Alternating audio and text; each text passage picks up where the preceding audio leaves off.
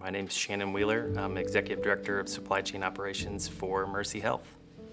Uh, so, supply chain management and analytics at Mercy, um, I would probably best paraphrase as sourcing the right products at the right price and getting them to the right place at the right time so that our caregivers can provide the highest quality of patient care to those that we serve in the communities where we have hospitals and outpatient facilities.